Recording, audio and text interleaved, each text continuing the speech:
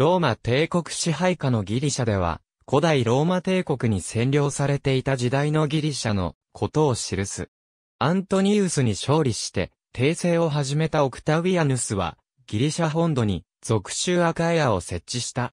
紀元前146年には、クレタ島は属州キレナイカの一部となった。カクポリスは属州内の地方都市として存続した。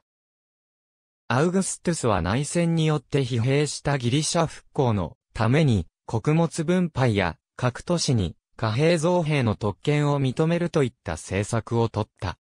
また新しい都市を建設し、ローマ市民や周辺住民の移住を促した。ギリシャ人の中にもローマ市民権を得る者も現れた。ギリシャ文化を愛するローマ皇帝アテナイの都市整備の援助を行ったり、建造物や神殿の整備や修理を行った。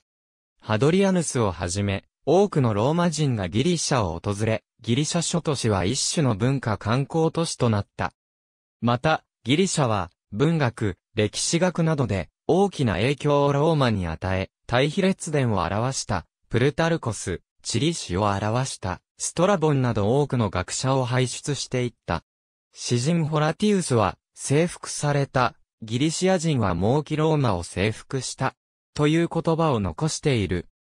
だが3世紀、軍人皇帝時代と呼ばれる内乱期になり、ローマ帝国が弱体化したため、ギリシャは異民族であるゴート人の略奪を受けた253年には、テッサロニキが襲われ、その後アルゴス、アテナイなどが、ヘルール族に次々襲われ大きな被害を受けた。ありがとうございます。